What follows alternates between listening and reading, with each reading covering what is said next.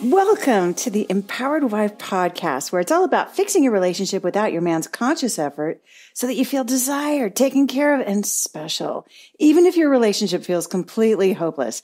I'm Laura Doyle, and today we're talking about how to make things better without his conscious effort. I'm going to share five ways to grow your marriage single handedly. My guest Sarah was resentful that her husband was so weak, didn't take initiative, and didn't know how to discipline their children because he didn't have a backbone. She knew he had a lot of issues to work through, but therapy wasn't helping. Then Sarah learned something that changed everything, and today her husband is masculine and attractive. She looks forward to his touch and loves the way he looks at her. She's going to share what she did that brought out all this attractive manliness. And then I'll be giving out the award for the worst relationship advice of the week, which is a recipe for a standoff where you're both stuck, miserable, possibly for years. All that is coming up. But first, let's talk about this fantastic news. The Empowered Wife podcast has reached a big milestone. The show has been downloaded over a hundred thousand times in less than four months since we launched.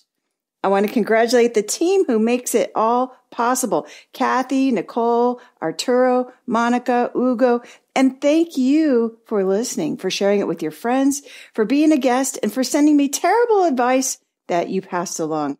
Helps me so much. It means so much to me. So I'm grateful. And if I had known how much fun we were going to have doing this, I wouldn't have waited so long to start a podcast. And if I knew it was going to be so crazy popular, well, maybe it's better that I don't know things until I get there. But it is a thrill. And I wanted to celebrate that milestone with you by doing my happy dance right here on this podcast. Happy, happy, happy. All right. Now let's talk about how to make things better without his conscious effort. When your relationship is in the doldrums, it's tempting to try to get your husband to do something about it. Like read a relationship book or talk to someone that you think could help him or go to marriage counseling. If only he would do that, things would be so much better, right? Well, that was my initial approach and it didn't help matters at all. And first of all, he wasn't into it. So he was resisting. And then I just pushed even harder for him to learn how to be a better husband. And the subtext of that is you don't even know how to be a good husband. In fact, you kind of suck at it, which is highly critical. And no surprise, he was highly defensive about it. It turns out the joke was on me because I was the one with the key to making things amazing. Focusing on his shortcomings and coming up with various ways he could improve never got me anywhere I wanted to go. Fortunately, I found a better way to get the attention, affection, and the special treatment I now enjoy. So here are five ways to grow your marriage without him even knowing what you're doing. Number one is to go on a gratitude kick. Once you're well rested, you can decide to focus on your husband's good qualities instead of those other ones that seem glaring by making a gratitude list about him. Now, you won't be able to do this if you're frazzled, right? So that's why you need to be well rested to start out. But then you ask yourself, well, what is it I like about him? Is he funny? Does he work hard? Is he patient? Is he good at fixing things? Athletic? Is he protective? Does he share your values or speak three languages or play the guitar? There was something about that guy that you married that had you choose him. What was it? Aren't you glad you have a husband with all those great traits and talents? Number two is to dwell on your desires. Dwell on your desires. Another thing that contributed to my marriage problems was my complaining habit. I had heard that I shouldn't complain, but that sounded impossible. Like, like stop breathing because there were so many things wrong with my marriage and my life. And now I think of complaints as lazy desires. So just figuring out what I want instead of what I don't want helps my husband know how the heck to please me, which means I have a much better chance of getting it. Plus, I'm not the whiny complainer anymore, which was not very attractive to him or to me. Don't miss being around her, the complainer. Number three is feel pretty. Now, maybe you have inner criticism for your appearance, like a lot of women do, but maybe there's also something like putting on your favorite lipstick or a new top or your best fragrance that makes you feel cute. Maybe a manicure does that for you or curling your hair or sleeping with a face mask. Feeling cute is the same as feeling confident, and confidence is attractive. So, what would make you feel more confident today? Number four, start a smile campaign. And along those lines, smiling not only makes you look better, it also makes you feel better. So if you decide to smile at everyone you see today, every time you see them, it will make you more attractive and happier. Now, what does that have to do with your relationship? Well, only happy people have happy relationships. Did you catch that? I'm going to repeat that one. I just love this. Only happy people have happy relationships. And making yourself happy is the theme of this podcast, as you've probably noticed. So number five is show him that you're happy to see him. This is the outward expression of it. Now that you're feeling so good, how about showing some of your enthusiasm when you see your man? You could tell him how happy you are and maybe even say, Oh, I'm happy you're home or great to see you. If it feels awkward or goofy to be so enthusiastic, it may be that you feel vulnerable about being gushy. But you know what? Gushy is endearing. Think about your dog. He's happy every time he sees you, even if you just saw him five minutes ago, right? Isn't that so appealing? Maybe you're not actually happy to see your husband, so it wouldn't be authentic. Or sometimes you are and sometimes you're not, so you'll reserve your enthusiasm for the days when you feel like it, right? But what if it were your policy to be happy to see him because it represented your position that overall you are so happy to be his wife? It could just take your relationship up an entire big notch or two. So, which of these ways will you experiment with to grow your relationship this week? If you're wondering how to get started with fixing your relationship and making it shiny again, then you need a roadmap. Get six simple steps to follow that will set your relationship up for success. Discover three common mistakes that wives make trying to fix their relationship that just make things worse when you download my free Adored Wife Roadmap. You can do that at getcherished.com. Go to getcherished.com now to get your roadmap in minutes. Sarah was resentful that her husband seemed so weak, didn't take any initiative, and didn't know how to discipline their children because he didn't have a backbone. She just wasn't attracted to him because he was so needy emotionally and sexually. And she knew that he had a lot of issues to work out, but therapy didn't seem to be helping. Then Sarah learned something that changed everything. And today her husband is a completely different man, masculine and attractive. She looks forward to his touch and she loves the way he looks at her. She's going to share how she did that. And she has moved heaven and earth to be with us today during quarantine with her husband and eight children. Sarah, thank you for being on the Empowered Wife Show today. My pleasure. Thank you for having me. So take us back to the very beginning of how you met your husband, because in some circles it's an unusual way to meet your spouse. So in our circles, dating is not a conventional dating where you know uh, you meet each other and fall in love. Um, dating was um, more like an interview. Whether this person, you know, do you share the same values? Can you know, do, do they have character? Um, can you basically do like them?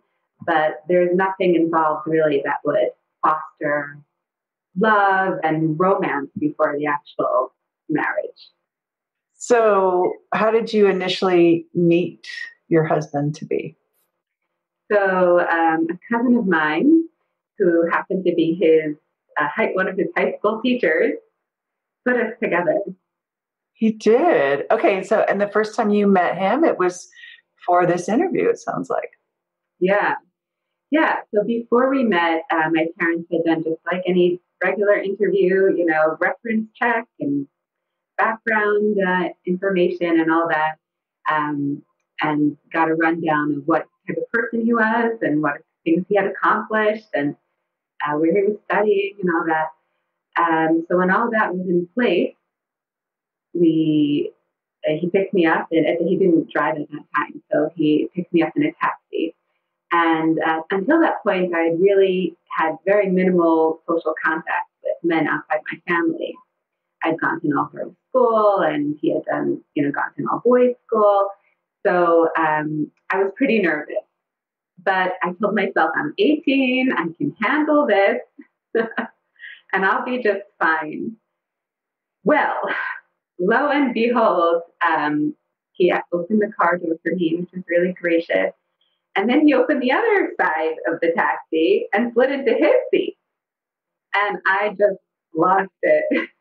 I started hyperventilating and I and I literally slid to the bottom of the taxi and pulled my coat over my head. Just a little nervous, huh?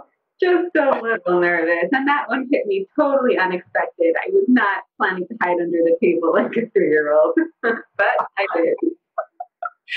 oh, so cute. And then, so then uh, it, it went well between the two of you with the interviewing. And then, uh, how did he ask you to marry him? Yeah, so it's interesting that you say it went well. Um, in certain respects, right, it went well. Uh, we shared the same values. I, you know, I saw his character was kind and sensitive, but um, in terms of really relating, enjoying his company, like ease of conversation, that was a struggle for me. That was a real struggle for me. Sounds like it was a little bit of a, a stressful interviewing process. Yeah, it was a little stressful. It was hard for me to trust the process. I mean, I trusted the process, but but you know, it's scary. You know, I'm a girl like any other and want to be romance and affection, and I, I didn't know how that was going to be with him. And you weren't really getting any of that at this point. It sounds like you're having to make this decision without any of the uh, traditional romantic feelings that we see in movies and books. That's that wasn't there for you. Is that right? Yeah. So okay, so how did he ask you to marry him? Okay, so he um, didn't really ask me. He kind of just told me that he assumed. he assumed that we were ready to take the next step together, and um, and I kind of said, okay, yeah, I was I was expecting him to ask me that. I was I was expecting him to wasn't surprised that he had assumed that we were ready because we had kind of reached the end of our interview process where we basically knew whatever would be relevant to us getting married in our circles.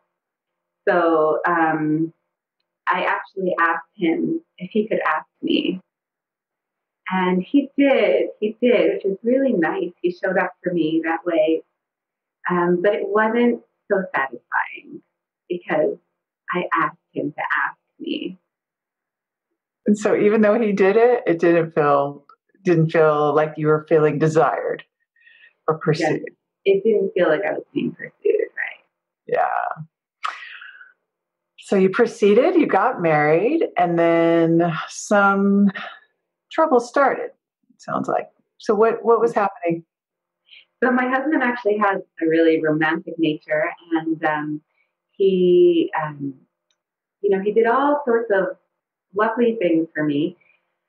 But, um, you know, it, it's crazy when I look back at how I received him. I really, um, I really didn't receive it well my parents were supporting us at that point because he was still studying.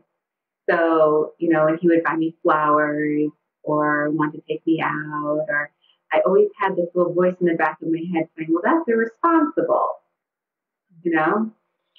Um, or we, we should be more careful with our money. And my parents weren't answering us at all. So there wasn't anything from, you know, from their end. But um, in my head, I really built this picture of him as you know, um, not so responsible. Yeah, so you were trying to keep the budget down, uh, and he was trying to romance you, and so you were rejecting that really just out of concern for your parents' finances. It sounds like. Yeah. Yeah. And then what about after you had babies? So it's interesting because I had, you know, we, we had started having children right away. And um, I just remember, you know, my mother came to help me have the baby. I had the baby at home. It was, it was beautiful. But I was still very, very young. I didn't connect to being a mother. You know, actually, when I when I met with the midwives the first time, they had me fill out my information, and you know, on the form I said mother's name and mother's uh, maiden name and you know date of birth. And I called my mother and a social. I said, "Ma, what's your you know what's your date of birth? What's the year you were born? What's your social?" She's like, "Honey, why do you need all this information?" I said, "Look, it says right here." I love it. You're like, no, no, I'm the mom now. So, but yeah, I may, I get it. You were like probably 19 years old at this time, yeah.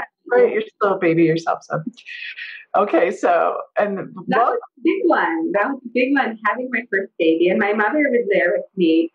Um, she's wonderful, and she took care of the baby that first week. You know, I didn't think I even changed the diaper and then she had to go home. So she left and it was that first moment where we're on our own with this baby, completely responsible. And I just buckled down and I took that baby and I, I, you know, he needed a diaper change. And I told my husband, okay, you know, can you please, yeah, like I started ordering him, like, okay, we need to change his diaper. Can you please get the diaper? And I like, I just stepped into that role of like, I've got to take care of this baby. Um, and I just was surprised that he was a little put off. you were just focused on this is what's got to get done, and it sounds like you decided to just kind of take charge and tell him what get this done. Yeah, right. and it, you know, and we had we had sweet moments, um, but we also had moments that really um, built up this vision of him as not being responsible. Like the first time I gave him a bath, um, and my husband wanted to come and, you know, he was going to also give him a bath one time and, and he dropped the baby in the water. And I had to, um, you know, I fished him out of the water. He was spluttering and, and, and that was it. I think that was the last time my husband attempted to bathe a baby. So, you know, in my head, I had this built up, you know, the story built up that my husband really didn't know how to handle kids. Not that I knew more, but I had some more experience, maybe some more instincts. It was healed. Right. And mama instinct is it's pretty strong, right, in terms of protecting your baby. I think I think that's a pretty normal part of being a mom. Would would you agree with that? Yeah. Yeah.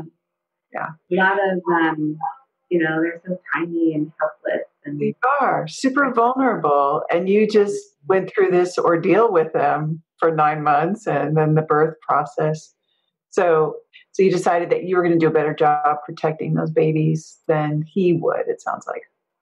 Yeah.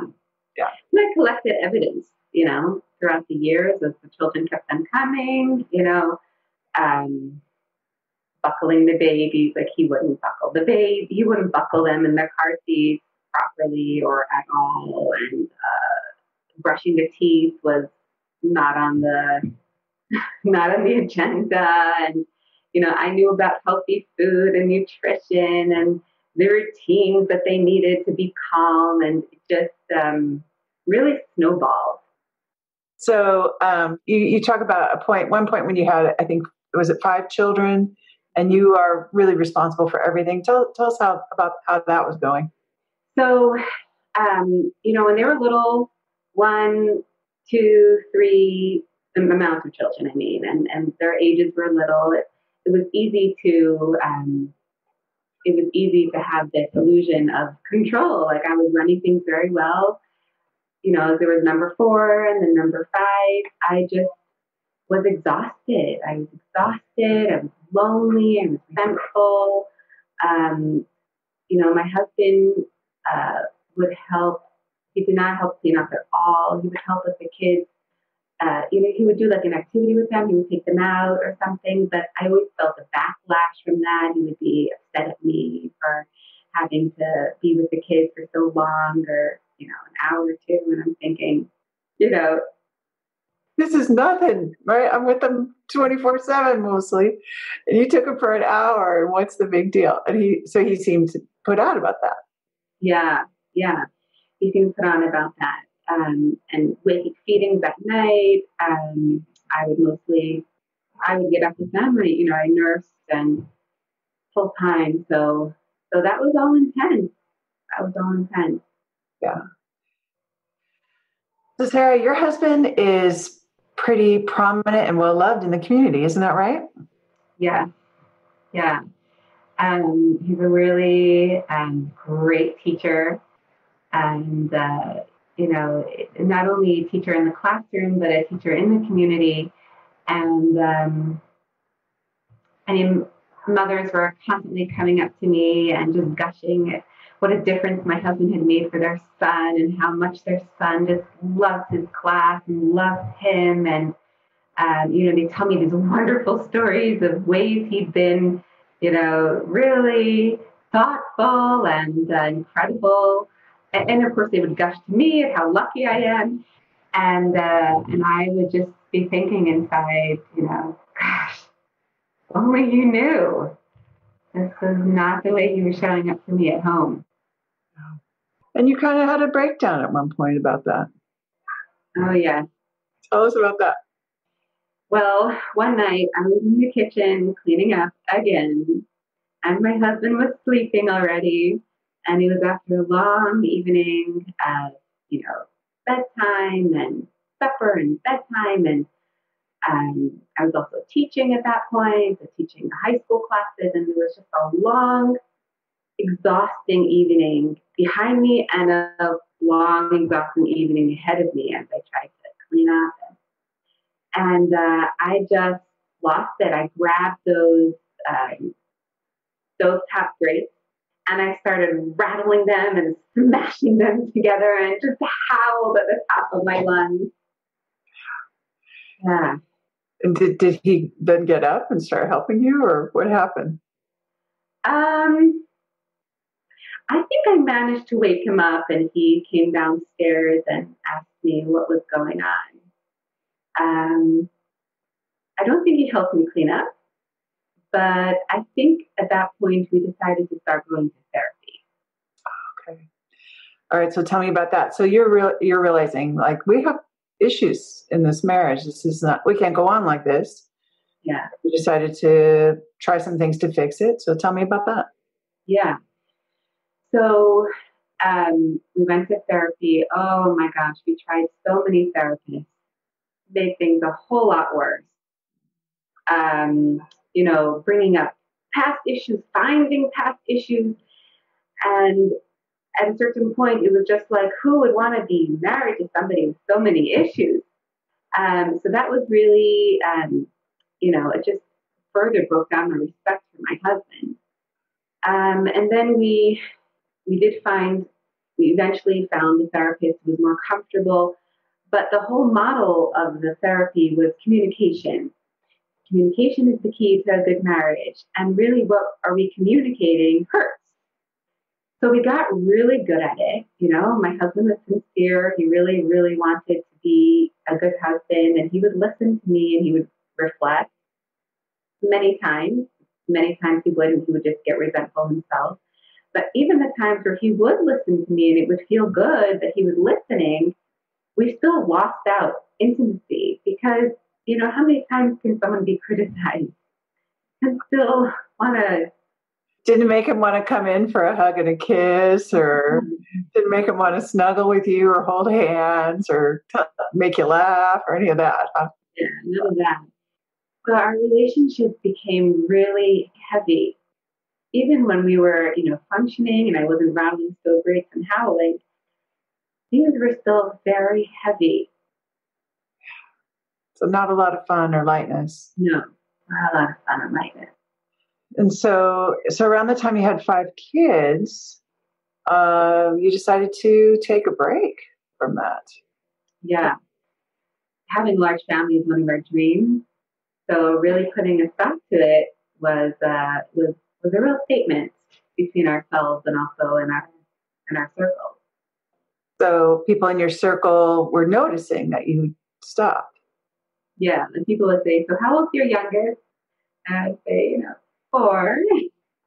You're like, oh, okay. and so you and you felt some pressure. It sounds like then to. I did feel pressure. So it's like a little bit of an embarrassment in a way. Was it kind of a throwing up a flag for your community that all was not well at your house? Is that? Yeah, yeah. There was a little flag there, and there was also internal pressure because, um, you know, one of our values is raising children, is bringing these little souls into the world. So to stop from that felt like I was, you know, aborting my power to create more life. So it felt like really deep. You're giving up uh, an important purpose. Yeah. Yeah. So that's a lot of stress. So, uh, so what happened? So um, we decided to continue having children, and uh, I conceived, and we had twins.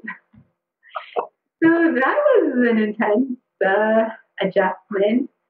Um, it was very exciting. My kids were all excited, you know. But as far as myself as a mother went, um, it was it was a huge, heavy load to carry. Overwhelming. You've already got five, and now you unexpectedly you get two more. Yeah. Uh, probably not anticipating that, thinking you're just going to get one more, but then you get two more. Mm-hmm. So the overwhelm was already big, and now there's even more stress on you. Yeah. How did you get out of this one, Sarah? Okay. So, um, actually, I was at a lecture from a well-known rabbi in the community, and he mentioned your book, Surrendered Wife. So when I came home, I mentioned it to my husband. Um, he had recommended your book, and uh, he went out and bought it for me. So oh. this was actually a few years before my twins, and I hadn't related to it at all. But somehow, after they were born, I was really searching again. I knew I didn't want to go back to therapy. We had really closed that door. Um, you know, we had accomplished everything that the therapy had set out to teach us, really. And the therapist himself told us, "You're done. Like you communicate very well. Like I have nothing more to, teach you." So I, that door was closed. It didn't didn't get us to that ease and delight and joy and connection that I really wanted. So I, uh, I was speaking to a friend and uh, she was telling me some things in her relationship and it sounded familiar. I remembered those concepts from your book. So I asked her, does this have to do with a Surrendered Wife? And she told me, yes. She said, I suggest that you really study that book and really get to know it well. So, you know, I, I looked you up online because I I knew that I had read that book already and I couldn't really I couldn't really relate to it so much. I, I just I googled you and called for you know ask for coaching. So you called for coaching. What was the first thing you started doing differently in your marriage? So the first thing that changed for me was was not a conscious thing that I did different yet, but it was more like the confusion cleared. I think that was huge because even if I had had had light moments before, and you know, my husband and I didn't fight, didn't have big fights, but now that I knew I had this path, like a lightness bubbled up. I re- like you know, and um, I remember that turning point where my husband, I was, I don't know, making lunch or something, and my husband kept walking by me and stopping and coming a little closer, and then he'd, you know, kind of go back to do his thing, and then he just kept coming back. And I said, you know, after a while, I was like, what's going on? So he says to me, what did you do to yourself? You're magnetic.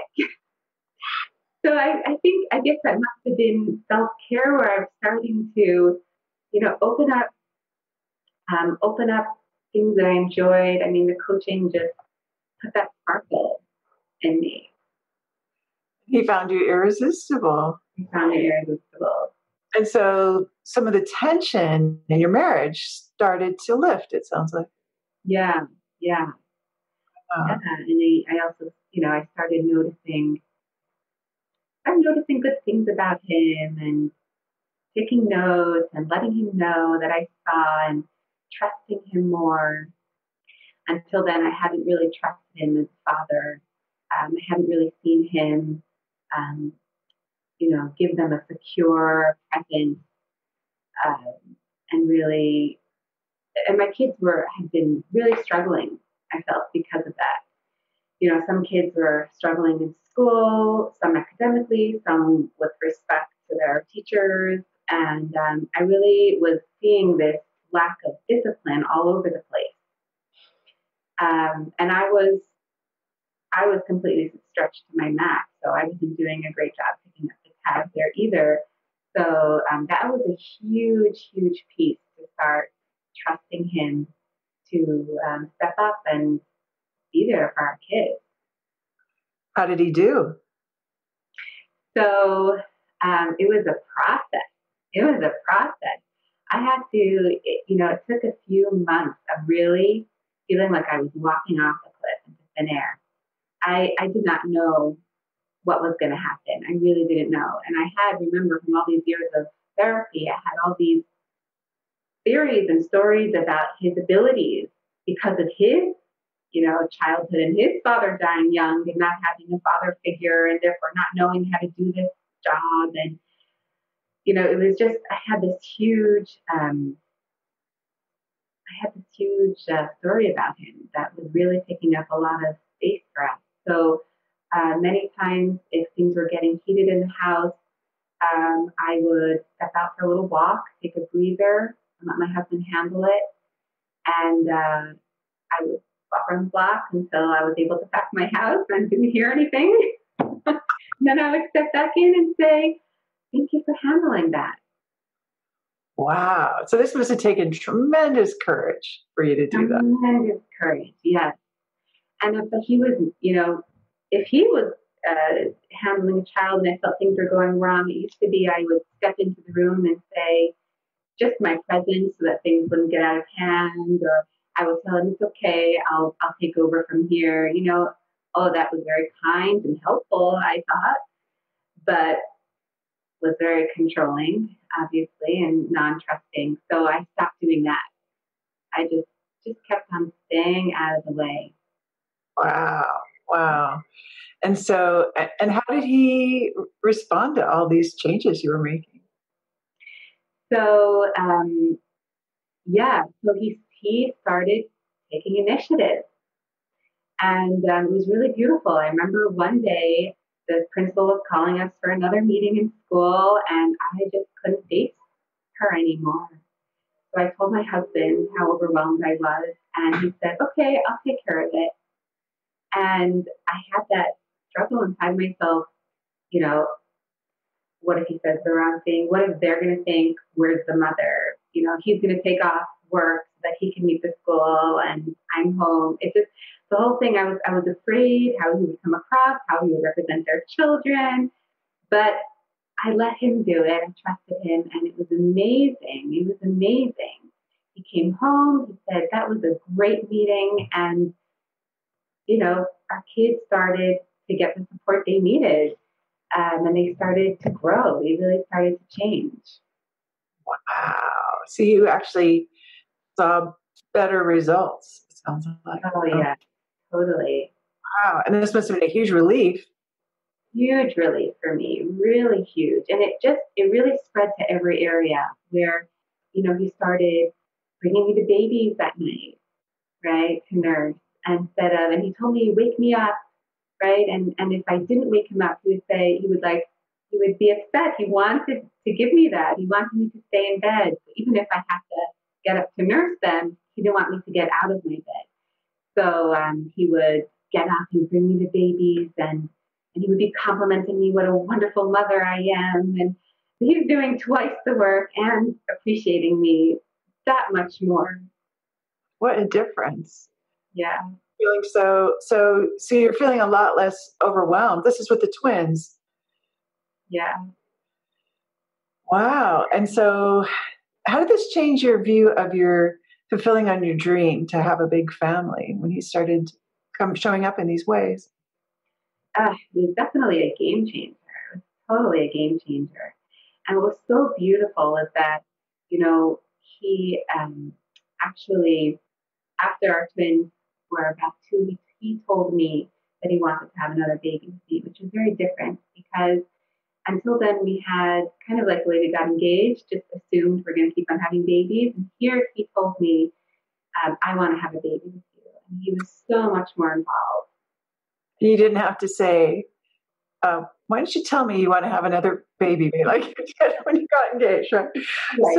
So, was there a turning point after you started using the skills and the connection framework?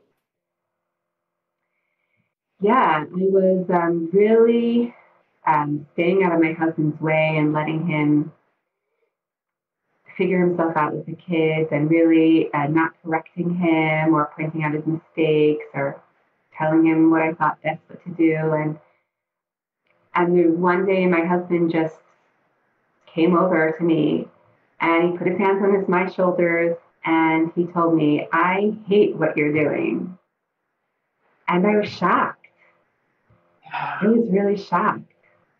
So I kind of looked at him and he said, Because I'm faced with all my own shortcomings. And really, until that point, you know, he hadn't been able to hear his own voice. And it was really when I stepped back and um, stopped being down, breathing down his neck all the time, that he was able to take stock of who he wanted to be and how he wanted to show up as a father. Did you feel in that moment? Did you feel so vindicated? Like, is it was almost like getting an apology, right? There was so much accountability in him saying that. Yeah, must have felt great. It felt really great, and it also felt, you know, when someone takes accountability for themselves, and I know this for myself as well. Um, when I take full accountability for myself, you know, it just made me want to see all the ways where he was already being a good father, you know? It, it just made that so much easier. It made you want to be on his side for what a good dad he is, what a good father. Uh, I love that. That is an amazing story. My husband is now able to make a difference for for myself, for our children in a completely different way. You know, he's been able to pinpoint and see, really relate to our children in ways where I I wasn't able to. You know, as a father and a mother, we have different strengths, and I just I love that he um, he has vision, vision and leadership, and um, with each child, he's been able to bring out something special and really give them a gift. You know, one child it was music, and when this child wanted to do music, uh, he wanted a really expensive keyboard, and and I thought, you know, I, played music as a kid. I tried teaching him, and he didn't really show much uh, talent. And I thought, you know, why why invest so much money in this child? His music, let's let's wait a little bit. Let him prove himself that he can practice and he can be disciplined about it, and, and then we'll get him an instrument. And my husband said, no, getting him this instrument is showing him that we care. And that it actually became a really special point of connection between myself and my son because I'm the musical one, my husband is not. And uh, I got to play with him, and you know, we share songs all the time. And now he's doing great, and he plays at events, and he, you know, he really, he really flew with it. Wow, what a story! That's mm-hmm. amazing. I love and that. Just one kid, you know. Each kid was something else. I have two of my little ones, a boy and a girl, um, like eight and nine years old, and he just got into their world and their love of little critters. So always out there hiking in the rain and finding salamanders and bringing home frogs and catching fish with, you know, like a string and a worm and, you know, like with their hands. Just, it's just, it's hysterical. I find it, and they love it. And we have chickens, and this is all my husband's initiative to get my children, you know, just develop their love of creatures and taking care of these little critters. And is this the guy with no backbone that I heard about earlier? No, it's unbelievable. It's unbelievable. And it's interesting because um, I was always fixated on, you know, obviously I wanted our children to develop responsibility, and I was fixated on um, chores being the medium for developing responsibility in a household, and um, and my husband was not into that. And this was one thing where I, I learned how to respect respect that that he does not think that chores is the way to teach responsibility, and really see the ways that he was teaching our children responsibility, you know, and then just honoring my desire for a clean house, right? Letting go of that piece and, and him getting me uh, cleaning help, really accepting that from him, um, and thanking him for both pieces, teaching my children, teaching our children responsibility and supporting me with having a clean house. And, um, you know, it took a few years, but eventually he's now the one telling our kids to do chores and he cleans up all the time. And it's such a, it's a switchover. You know, it was a real, it was a real switchover. Really respecting his idea, you know, not trying to explain to him why chores is more important, but just giving that the time and space and trust that it'll come when it does. And and now it shows, you know, now it's showing up in my life.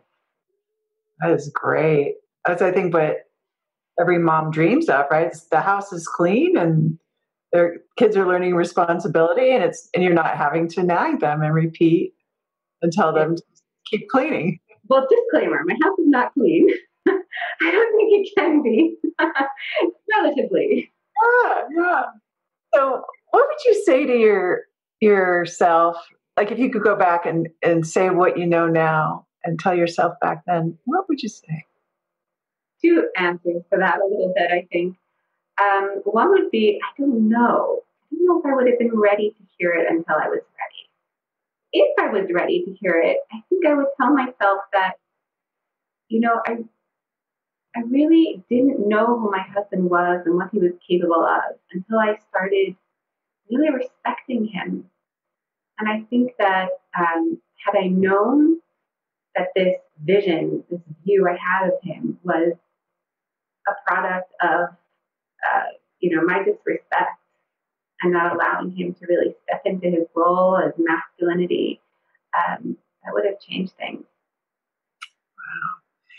And what's a tip for someone who's listening, who's also feeling overwhelmed as a mother and wishing her husband would step up? What what suggestions? What, where should she start? Uh, well, I would definitely have her start with getting some coaching. You know, I was not able to see my blind spots until I had someone who was you know, caring, compassionate, and also knew what they were looking for to show me. Well, I love that. Well, this is um, these are very personal things that we're talking about today, very private things, really. Um, so, what has you be willing to share all this with us? you know, if what I can share will strike a chord with another woman, um, so that she'll know that she's not alone and her relationship not only not hopeless, but there is so much potential that she can access. Um, I think that would be worth it. That would be worth it. And it's interesting because I actually asked my husband about sharing about him. And, uh, you know, it's got to be a little vulnerable for a guy that was like talking about him in front of how many thousands of women. Um, and he was so for it. He was so for it. Wow. He's seen the changes in me, and he he just told me, "You can say whatever you want about me, as long as it leads to another woman, another marriage, another family reaching happiness." Yeah, I'm so moved by that. I'm tell him thank you for me because that is very it is very vulnerable. He's very courageous as well to share about that and his uh, caring heart really comes through in that. Yeah. What is your relationship like now? It's full of love. It's so different. It's hard to explain in a nutshell but i really have a man that i can respect that i do respect. Yeah. And has he become more attractive? Yeah, so all of this really changed how he appeared to me. You know, like a, a weak, moody man is not so attractive. No. Whereas now he's, you know, he comes across strong. The way he approaches me is just with a completely different um, strength to him. and uh, it really, it's really exciting. And and so now you are also a coach. You studied to become a coach, and you certified, and you help other women with their marriage. You've even, yeah, you've you've helped lots of women with their relationships. And how does that impact your marriage? So um, I'll use my husband's words again because he is making it possible for me to speak to women during this quarantine time. Um, and he tells me, you know, a few times I told him, oh, I, I just can't speak to another woman today. And he said to me, you know, you must. He's like, you come back from your sessions glowing. So you got to go and speak to her. so he likes when I'm happy, and this just makes a difference. So I just feel very empowered. It keeps me accountable, and it keeps me, you know, spreading the spreading this this gift of of helping women really tap into their feminine core. Beautiful. Well, yeah, there's a reason you're such a powerful coach. I think you inspire a lot of women. It sounds like you get inspired yourself from talking to them too. So I love that. So Sarah, this has been I'm inspired now. I'm feeling full full and filled up from hearing your wonderful story. Thank you so much for sharing it with us today. Thank If you're wondering how to get started with fixing your relationship and making it shiny again, then you need a roadmap. Get six simple steps to follow that will set your relationship up for success. Discover three common mistakes that wives make trying to fix their relationship that just make things worse when you download my free Adored Wife Roadmap. You can do that at getcherished.com. Go to getcherished.com now to get your roadmap in minutes. And now it's time for the Worst Relationship Advice of the Week Award. It's the worst relationship advice of the worst relationship advice. Yeah, it's the worst relationship advice of the worst relationship advice of the week. And the advice that's got me fit to be tied this week is that a man has to earn his wife's respect before she gives it. A listener heard this one and she sent it to me for consideration for this award, which I love. Thanks for sending me this truly terrible advice, which can only result in a painful standoff. If you're waiting for someone else to go first, you could be waiting a long time, right? One powerful way to look at this is by reversing it and saying, a wife has to earn her husband's love. It sounds pretty harsh that way, doesn't it? I think it's downright offensive, actually. I want my husband to love me just for who I am and how I am. And the idea of having to earn his love is both scary and disheartening. It's lonely. I wouldn't like it at all. And yet I've definitely felt like my husband wasn't earning my respect. What a big hypocrite I was, right? Right, I was. I was also a very lonely hypocrite, waiting for him to earn my respect. And the truth is, I just wasn't very good at trusting. I hadn't cultivated that particular skill. And now that I've worked on that some, it's one of my favorite skills. It feels like I have a superpower, actually, to be able to trust and respect even when I feel afraid or even when I see a flawed human being. I didn't realize that respect is actually a decision just like love. They're both action words, actions you decide to take, like going to the store, washing the car, watching your favorite show. You choose them. You love someone because you decide to love them. You respect him for the same reason. That's what we're doing when we fall in love and get married. And by deciding to respect him again, what you're actually doing is standing for his greatness again. You're looking for his best qualities and focusing on your faith instead of your fear. And since people tend to rise to your expectations, you have the power to bring out his best qualities just by deciding to respect him. But even better for me was the part where I stopped feeling hairy and dirty because I was always questioning him or telling him what to do because I didn't respect him. Becoming a respectful wife and woman restored my dignity. And now that I know how good that feels, I wouldn't trade it for anything. Learning how to be respectful was a big part of becoming my best self, and my best self is sure a lot more attractive than the shrew with her arms crossed. It's not who I want to be. And for that reason, the advice that a man has to earn his wife's respect before she gives it is the worst relationship advice I've heard all week. Thanks again for sending in that terrible relationship advice. If you hear bad relationship advice and send it to me, you too can have an anonymous shout out on my show. We're just big on privacy around here, so I won't use your name, but I will thank you for sending it in. Thank you. Thank you.